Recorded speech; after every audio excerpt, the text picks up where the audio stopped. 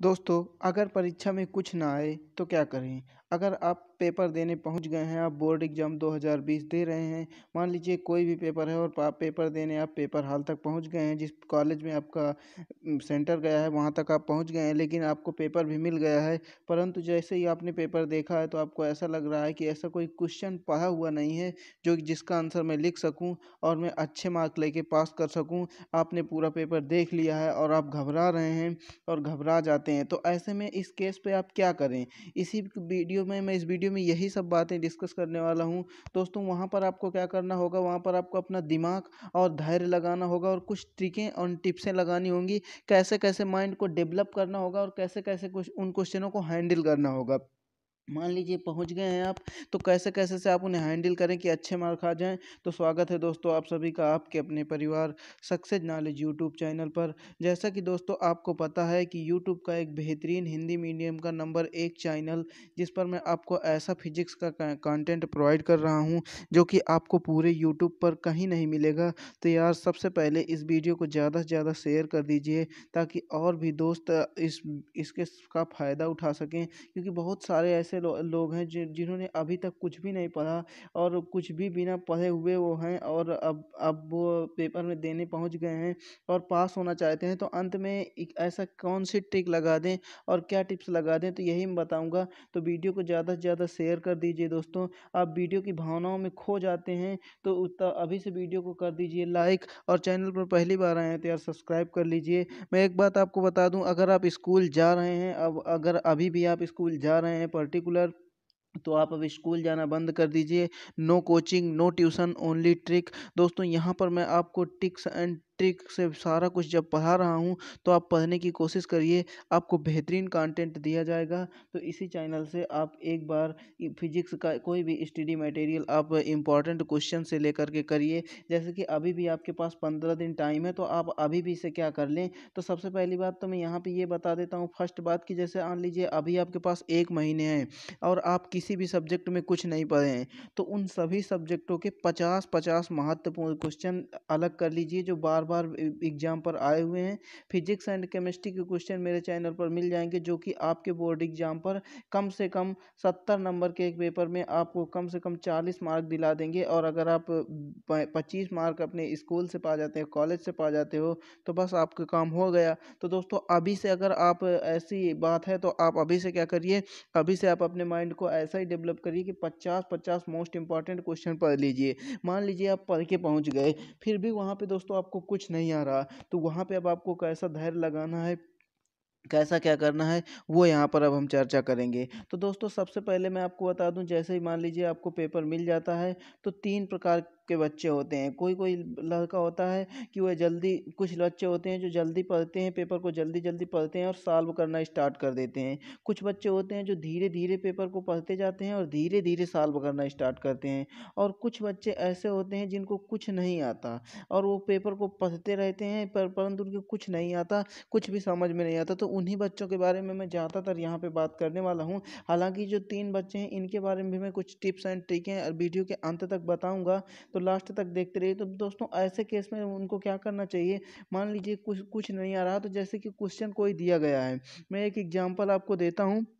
जैसे मान लीजिए कोई आपको क्वेश्चन दिया गया है, उस क्वेश्चन पे मान लीजिए सपोज़ करिए आप कि वो आपको जो क्वेश्चन दिया गया है, वह दिया गया है कि गुलाम के नियम से आप क्या समझते हैं, सपोज़ करिए।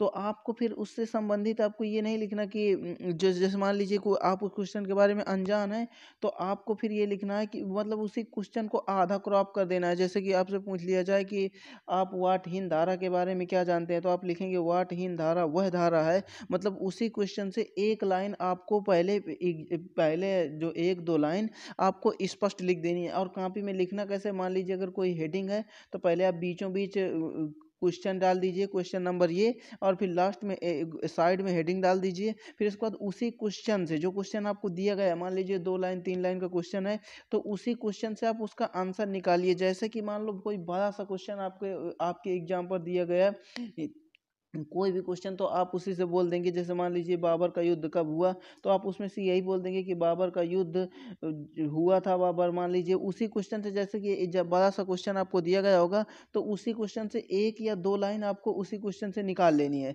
अगर नहीं निकल रही तो आपको उस क्वेश्चन को बार बार पढ़ना है। क्या करना है? उसी क्वेश्चन को बार बार पढ़ना है। और जैसे कि आपको दिमाग में जैसे कि आ रहा है, जैसे वाट हीन। अब वाट मीन्स होती है शक्ति और हीन मीन्स होती है धारा। मतलब जिसमें कुछ हीन हो मतलब उसके पास है ही ना हो, उसे कहते हैं वाटहीन। तो मान लीजिए अब उससे आपके दिमाग में क्या है कि जैसे अब बलहीन, अब इंसान कोई बलहीन होता है तो उसके पास क्या प्रॉब्लम आती है? तो ऐसे ऐसे आप दिमाग लगाइए और सोचिए। अगर वहाँ पर सोचने पर आपका माइंड कुछ कह रहा है कि मुझे ये लिख देना चाहिए तो आप उसका आंसर वही लिख दें, तीन चार लाइन। अब एक बात मैं आपको बता दूँ, जैसे कि मान लो ये पेपर आपको मिला तो उस पेपर में आपने क्वेश्चन को पढ़ा तो कुछ ऐसे उसी क्वेश्चन में कीवर्ड होते हैं कुछ ऐसे उसी क्वेश्चन में कीवर्ड होते हैं जिनको आप कीवर्डों को याद कर लेते हैं। जैसे कि मान लीजिए आपका कोई क्वेश्चन आया तो उस क्वेश्चन को आप जैसे ही पढ़ते हैं तो उस पर कुछ आपको कीवर्ड नज़र आते हैं, जिससे उनका आंसर मिल जाता है। तो उन कीवर्डों को अगर आपके दिमाग में कुछ चल रहा है कि इसमें से कुछ कीवर्ड इसी क्वेश्चन में से निकल रहे हैं तो स्टार्टिंग आप वहाँ से कर दीजिए। अब उसी से रिलेटेड मान लीजिए वो क्वेश्चन है, उसी से रिलेटेड आपको कोई दूसरा क्वेश्चन आ रहा है तो उसके स्थान पर आप दूसरा क्वेश्चन लिख दीजिए। लेकिन आपको उस क्वेश्चन को छोड़ना नहीं है। ये आपको तब करना है जब आपको एक भी क्वेश्चन वो उस क्वेश्चन के बारे में आपको कुछ पता ही नहीं है। अगर आपको कुछ उस क्वेश्चन के बारे में आ रहा है तो फिर आपको उसका आंसर अच्छे से डेवलप करना है, अच्छे से लिखना है। लेकिन अगर नहीं आ रहा तो उस क्वेश्चन को छोड़ना नहीं। बस आपको नंबर अच्छा डाला, याद रहे आपको पहला पेज और दूसरा पेज आपको बहुत ही स्वच्छ, सुंदर लिखना मान लीजिए आपका पूरा पेपर देखा आपने, उसमें आपको तीन या चार क्वेश्चन आ रहे हैं। अगर आपने साल भर कुछ भी नहीं पढ़ा, फिर भी आपको तीन या चार क्वेश्चन मैक्सिमम देखने को मिल जाएँगे, जो आपको आ रहे होंगे। तो उन क्वेश्चनों को आपको सबसे पहले लिखना है और उन क्वेश्चनों पे आपको इस तरह की बेहतरीन राइटिंग से लिखना है, इस तरह से लिखना है कि एग्जामिनर प्रभावित हो जाए, क्योंकि एग्जामिनर को बहुत सारी कापी चेक करनी होती है, वो आपकी एक एक लाइन नहीं पढ़ता एग्जामिनर को आपको ऐसा देखना होता है और स्टार्टिंग में आपके एक या दो, एक या दो लाइनों को थोड़ा थोड़ा देख लेता है, अगर वही कीवर्ड मैच हुए जो उस आंसर में लगभग लगभग होते हैं तो फिर एग्जामिनर उस पर नंबर दे देता है। अगर थोड़ा बड़ा मान लीजिए मिस्टेक होती है तो उस केस में एग्जामिनर क्या करता है, जैसे पाँच मार्क का क्वेश्चन आपका आया तो उस क्वेश्चन में आपके एक या डेढ़ मार्क काट के तीन या साढ़े तीन मार्क देने की कोशिश करता है वो। अगर उसमें आपने कुछ लिख दिया है बहुत सारा तो आपको दो या तीन मार्क तो मिल ही जाएँगे हर हालत में। तो मेरे कहने का मीन्स पहली टिप्स मेरी यही है कि उस क्वेश्चन पेपर को जो आपके एग्ज़ाम पर आया है, उसे आप बार बार पढ़िए, बार बार पढ़िए, उसी से, कुछ क्वेश्चन से, उसी क्वेश्चन से। कुछ ना कुछ कीवर्ड निकालिए, उन कीवर्डों की अकॉर्डिंग, जैसे वो कीवर्ड निकल आते हैं तो उन्हीं कीवर्डों के अकॉर्डिंग आप उस आंसर को फिल करिए मतलब कि लिखिए और आपको उसको जैसे जैसे मार्क हों, उतनी उतनी लाइनों में उसका आंसर दे देना है। मान लीजिए कोई क्वेश्चन आ दूसरा आपको आ रहा है, उसी से रिलेटेड कोई क्वेश्चन है तो दो लाइन पहले क्वेश्चन से आप लिख दीजिए, फिर इसके बाद उस जो क्वेश्चन आपको आ रहा है, उस क्वेश्चन को लिख दीजिए, फिर अंत में, लास्ट में उसी क्वेश्चन को उठा करके नीचे भी एक लाइन बना दीजिए। ऐसे में एग्जामिनर क्या करेगा? ऊपर देखेगा और नीचे देखेगा और आपको मार्क दे देगा। अब अगर मान लीजिए ऐसे ऐसे केस आ गया आपके कि आपको पाँच भी क्वेश्चन नहीं आ रहे, क्या नहीं आ रहे? एक भी क्वेश्चन नहीं आ रहा आपको। तो उस केस पे आप क्या करेंगे? उस केस पे आप क्या करेंगे कि उस केस पर आप उस क्वेश्चन को बहुत धैर्यपूर्वक पढ़ेंगे और उस क्वेश्चन की पिक्चर को याद करेंगे। मान लीजिए कोई क्वेश्चन ऐसा है जिसमें कुछ आपको पिक्चर नज़र आ रही होगी। ऐसा मान लीजिए जब आप क्वेश्चन पढ़ेंगे तो आपके दिमाग में कुछ सोचने की एक क्षमता आएगी, एक पिक्चर नज़र आएगी। तो उसी पिक्चर को आपको याद करना है और उसी पिक्चर के अकॉर्डिंग उसका आंसर लिख देना है, जो आपके दिमाग में जो भी आ रहा है, कुछ भी आ रहा है ना तो उसको लिख देना है। लेकिन हाँ याद रहे कि आपको ऐसा कुछ नहीं लिखना है कि मान लीजिए आप कुछ अपने घर वगैरह से हैं, कुछ लड़के लिख देते हैं कि मेरी ये मजबूरी थी, मेरी वो मजबूरी थी, जिसके कारण मैं पढ़ नहीं पाया और मैं मार्क इस, इसी प्रकार से मैं इसका आंसर नहीं लिख पा रहा हूँ तो प्लीज़ मुझे पास कर दें, कृपया मुझे पास कर दें। इस तरह में कोई भी एग्जामिनर आपको नंबर नहीं देगा दोस्तों। इसलिए आप ऐसे केसों का बिल्कुल यूज़ ना करें। आप बेहतर होगा आपके लिए कि आप उसी क्वेश्चन, जो भी आपको क्वेश्चन पेपर में दिया गया है तो उसी क्वेश्चन को सोचें। बार बार सोचें उसके बारे में बार बार उस क्वेश्चन को पढ़ें। और उस क्वेश्चन को धीरे धीरे सॉल्व करने की कोशिश करें। वहाँ पे एक भी घबराना नहीं आपको। जैसे ही पेपर मिलता है तो आपने धैर्य और ज्ञानपूर्वक काम लेना है।